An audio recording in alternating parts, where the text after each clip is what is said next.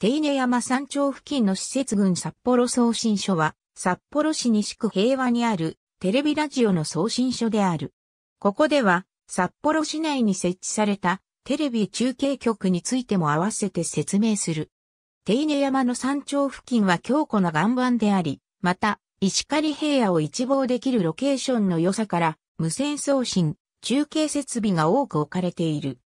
また、MCA 無線、業務無線、JR 北海道や NTT 東日本、国土交通省、警察庁などの無線基地局や中継局のほか、北海道大学の気象観測施設なども置かれている。地上デジタル放送における各放送局のチャンネルは物理チャンネルではなく、リモコンキー ID で CH と表記している。印の日付は札幌テレビ等における開局日。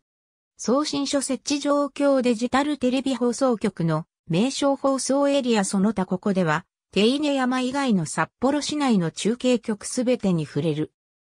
宮の森中継局宮の森中継局札幌山本中継局中継局の様子札幌沿山中継局宮野沢中継局宮野沢中継局札幌西の中継局札幌西のデジタルテレビ中継局上山系中継局上山系、デジタルテレビ中継局、ミスマイ、中継局も南中継局も南デジタルテレビ、中継局札幌も岩下中継局札幌も岩、下デジタルテレビ中継局札幌も岩下、中継局は北海道札幌市南区に設置されているテレビ中継局。